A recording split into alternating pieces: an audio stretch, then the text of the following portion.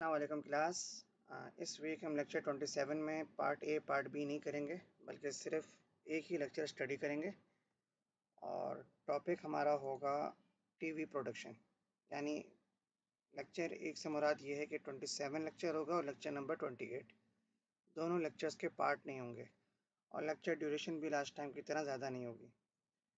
क्योंकि हम जो क्रेडिट आवर्स हैं उसको जूम पे स्टडी करके पूरा करेंगे। तो टीवी प्रोडक्शन के बारे में बात करते हैं। टीवी प्रोडक्शन की अगर बात की जाए तो ये तो एंड का क्वेश्चन है। इससे पहले हम इसकी कुछ स्टेजेस पढ़ते हैं कि टीवी प्रोडक्शन है क्या चीज़। अच्छा ब्रॉडली अगर हम बात करें तो टीवी प्रोडक्शन की तीन ही स्टेजेस होती हैं। प्री प्रोडक्शन प्रोडक्शन और पोस्ट प्रोडक्शन यानी बेसिकली प्रोडक्शन ही प्रोसेस हो रहा है। प्रोडक्शन करने से पहले क्या करना है और उसके बाद क्या करना है? ठीक है, ये चीज़ें होती हैं। अच्छा इसको स्टडी करने से पहले इसको हम ये कंसिडर कर लें कि हम किस सीनैरियो में प्रोडक्शन को स्टडी करेंगे, क्योंकि प्रोडक्शन टीवी में ड्रामों की भी होती है न्यूज़ की भी होती है एंटरटेनमेंट की भी होती है स्पोर्ट्स के शोज़ की भी होती है। तो हम कोशिश करेंगे कि हम इसको जनरलाइज करके पढ़ें। ठीक है? सब चीज़ें जिसमें कवर हों। लेकिन जब ड्रामों की बात होती है तो ज़ाहिर सी बात है, वो एक अलग कॉन्सेप्ट होता है, क्योंकि वो रिकॉर्डेड शोज़ होते हैं और एपिसोड बेस होते हैं। तो उनकी प्रोडक्शन या फ़िल्म प्रोडक्शन वो टोटल अलग चीज़ है। यहाँ हम बात करेंगे तो शोज़ की बात करेंगे। अब वो शोज़ कोई भी हो सकते हैं। तो सबसे पहले हम इसको पढ़ लेते हैं, क्या कहता है? The production process refer to the stages यानी फेजेस जो हैं इसके required to complete a media product from idea to the final master copy सबसे पहले तो आपको प्लानिंग आइडिया आता है कि मैंने ये चीज़ करने जाना है। The process can apply to any type of media production including film, video, television and audio recording. ठीक है? यही प्रोसेस हर तरह के मीडियम पे हम अप्लाई कर सकते हैं। The stages in each media vary. For example, there is obvious no storyboard in an audio recording. जब ऑडियो रिकॉर्डिंग होगी तो वहाँ पे बोर्ड नहीं होगा। Ever the same general concept work for any medium अच्छा तीन क्या क्या चीज़ें? प्री प्रोडक्शन में हमारी प्लानिंग आ जाती है स्क्रिप्टिंग आ जाती है और बोर्डिंग सेकेंड फ़ेज़ हमारा आता है प्रोडक्शन का जो एक्चुअल शूटिंग और रिकॉर्डिंग होती है।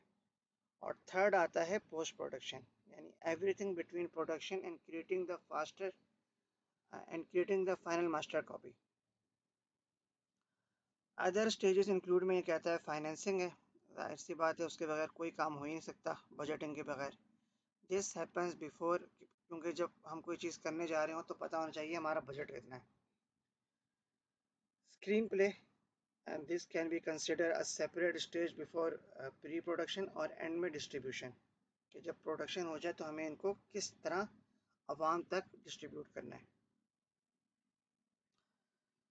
तो ये जो वेबसाइट है मीडिया कॉलेज डॉट कॉम इसमें सारी ग्लॉसरीज दी गई हैं मीडिया की।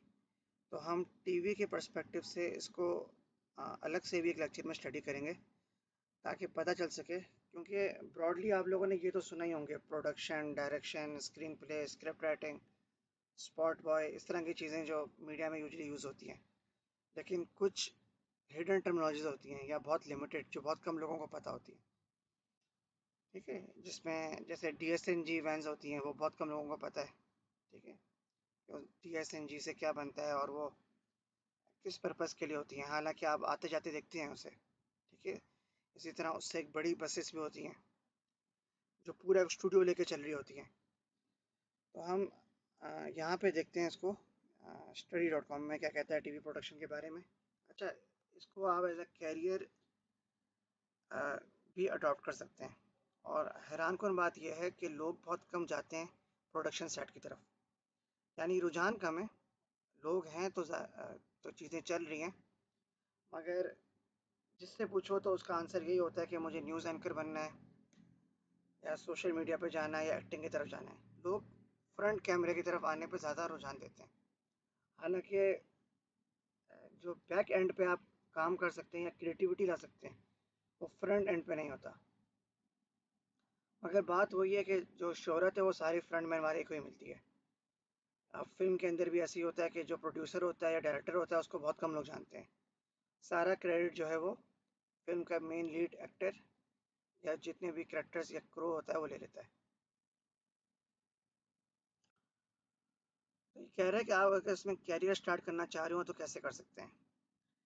Most professional process a bachelor's degree and working knowledge of the television industry ठीक है, इसमें आपके पास एक तो पहले डिग्री हो, फिर थोड़ा बहुत इसमें वर्किंग नॉलेज हो काम कैसे करती है प्रोडक्शंस तो ये कह रहा है there are colleges and universities जो इसमें डिग्री दे रही हैं, जिसमें स्टूडेंट मुख्तलिफ़ एरियाज़ ऑफ़ प्रोडक्शन के बारे में स्टडी करते हैं, जिसमें मीडिया लॉ एंड एथिक्स भी है. मीडिया के लॉज एंड एथिक्स अगेन वो सब्जेक्ट जिसको बहुत कम लोग पढ़ते हैं और जो बहुत नेसेसरी है। कि आप कितने रिस्ट्रिक्टेड हैं मीडिया में काम करते हुए।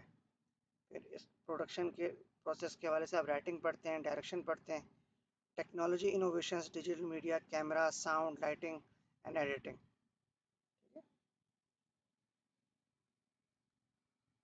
अच्छा कह रहे many career TV producer started out as production assistant यानी वो सबसे पहले किसी बड़े प्रोड्यूसर के साथ उसके असिस्टेंट लगते हैं वहीं पे काम सीखते हैं और वक्त के साथ साथ मेन प्रोड्यूसर बन जाते हैं। तो टीवी प्रोडक्शन में जितनी भी चीज़ें होती हैं उसमें आप आ, कौन कौन सी फ़ील्ड चूज़ कर सकते हैं?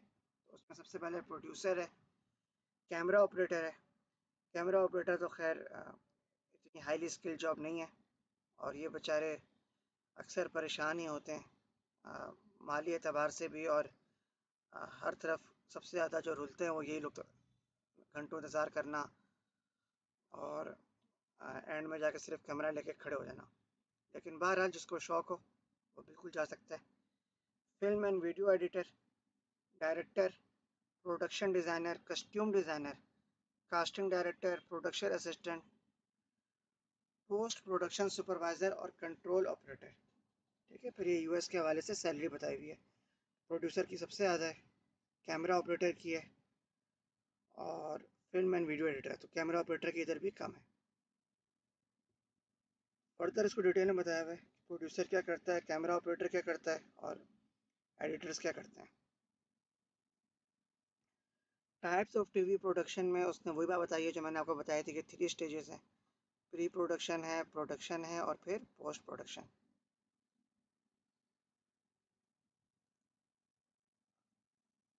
आगे हम देखते हैं television studio.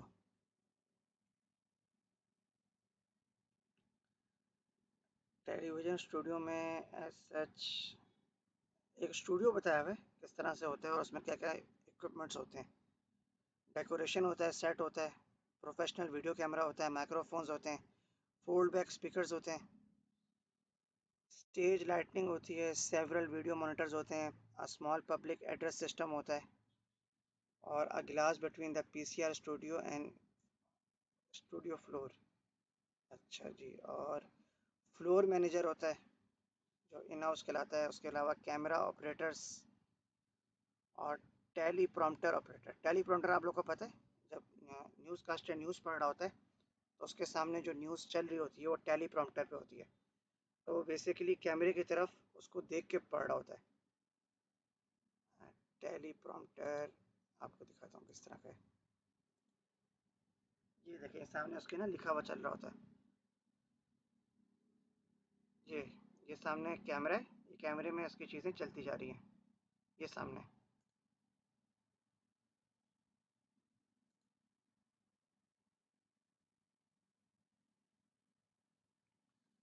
Screen zoom in हो जाए तो और क्लियर नज़र आ जाएगा। ये देखें। अब ये शो हो रहा होता है कैमरे की तरफ़ देख रहे हैं। और ये इसको पढ़ के, देख के पढ़ रहे होते हैं। तो अगर आपकी रीडिंग स्किल अच्छी है, आवाज़ अच्छी है तो न्यूज़ कास्टर बनने के लिए बहुत मौजू हैं। देखिए आजकल तो खैर मीडिया में शक्ल सूरत भी बहुत चाहिए होती है। लेकिन आवाज़ अच्छी हो और रीडिंग स्किल्स हो तो आपके एक्सेल करने के चांसेस बहुत ज़्यादा हैं।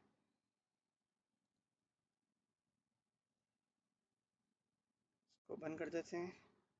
तो ये टेलीप्रॉम्प्टर होते हैं। इवन प्रेसिडेंट बुश तक जो है वो टेलीप्रॉम्प्टर के ज़रिए स्पीच देते रहे। ये भी आप देख सकते हैं। ठीक है, इसी तरह एक होता है पेपर प्रॉम्प्टर पेपर में आप चीज़ें जो है ना तेज़ तेज़ पढ़ रहे होते हैं। अच्छा प्रोडक्शन कंट्रोल रूम होता है, इसके अलावा सेंट्रल अपरेटस रूम होता है। Character generator, camera control unit, digital video effects, video routers. इसके लिए सबसे अच्छा ये है कि आप लोग करने कभी मेन स्टूडियो देखा हो, टेलीविज़न का, जहाँ पे एक प्रोग्राम होता है। और अगर मौका मिला तो हम लोग कोशिश करेंगे कि किसी जगह एक छोटा ग्रुप बनाकर विज़िट कर लें, ताकि जान सकें कि किस तरह से एक चीज़ें काम करती हैं। अच्छा इसके अलावा हाँ ये इनको आप जानते होंगे जबरान पेशमाम ये जियो के प्रोड्यूसर हैं। आजकल रोटर के साथ हैं तो मतलब आज आज शाहजेब खानज़ादा का शो ये प्रोड्यूस करते रहे, लेकिन आज तक कोई उनको नहीं जानता।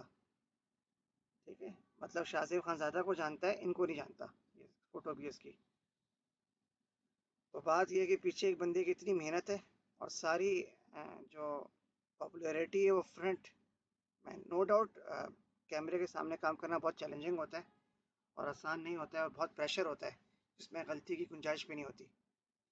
लेकिन स्टिल जो प्रोड्यूसर होता है, क्योंकि वो ऑनर ऑफ़ द शो होता है वही डायरेक्टर होता है अगर हम फ़िल्म में बात करें तो प्रोड्यूसर डायरेक्टर अलग चीज़ें लेकिन टीवी शोज़ के अंदर प्रोड्यूसर ही डायरेक्टर भी होता है।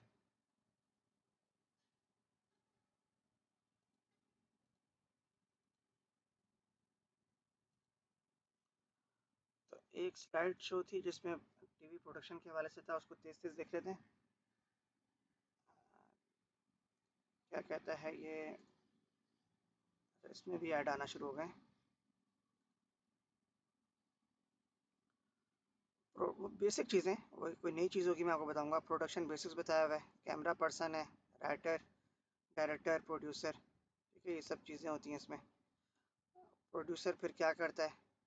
प्रोग्राम का कॉन्सेप्ट लेके आता है बजट लेके आता है मेजर डिसीज़न कर रहा होता है। और आप लोगों ने देखा होगा अक्सर न्यूज़ कास्टर के कान में का, कुछ लगा होता है माइक्रोफोन तो वो बेसिकली प्रोड्यूसर के साथ इंस्ट्रक्शंस ले रहे होते हैं। ठीक है डायरेक्टर जो है वो अच्छा जो बड़ी प्रोडक्शन होती है, उसमें वो सेपरेट डायरेक्टर ले लेता है। वरना बेसिकली डायरेक्टर प्रोड्यूसर सेम ही होते हैं। फिर टेक्निकल डायरेक्टर अलग होता है। इंजीनियर जिसमें होते हैं video engineers lighting director set designer makeup person wardrobe supervisor तो बड़े पेचीदगी होती है इनमें। इतना आसान नहीं होता है शो को लॉन्च करना। बहुत सारी चीज़ें इसमें मेन चीज़ बजट होती है। बजट हो तो फिर ये सब चीज़ें पॉसिबल होती हैं। फिर playback operator script supervisor chyron operator अच्छा कौन ग्राफिकल ऑपरेटर होता है? ठीक है, जो पट्टियाँ चल रही होती हैं टाइटल्स शोज़ की वगैरह, उनको ऑपरेट कर रहा होता है। Camera operator audio technician audio problem ना आए वीडियो इशू ना आए एडवर्टाइजमेंट टाइप पर हो टाइम पर हो तो बहुत ज़्यादा प्रेशर होता है टीवी प्रोग्राम के दौरान। फ्लोर मैनेजर, स्टेज हैंड्स, ये पीछे आप देख सकते हैं, ये इशारे कर रहा होता है। Editor and post of pre production अब ये फेजेस बता दिए हैं प्री प्रोडक्शन प्रोडक्शन और फिर पोस्ट प्रोडक्शन प्रोडक्शन का स्टेज है ये मैं शेयर कर लूँगा आप लोग के साथ। ठीक है, ये डाउनलोड कर लेता हूँ। ग्रुप में डाल दूँगा क्लासरूम गूगल क्लासरूम में। इसको आप लोग पढ़ भी लेगा। एग्ज़ाम पॉइंट ऑफ़ व्यू से बहुत ईजी रहेगा आप लोग के लिए। तो टीवी प्रोडक्शन हम क्लोज़ करते हैं आज। नेक्स्ट लेक्चर में हम टीवी के हवाले से फाइनल टॉपिक पढ़ेंगे। और फिर नेक्स्ट वीक हम सोशल मीडिया या डिजिटल मीडिया को शुरू करेंगे।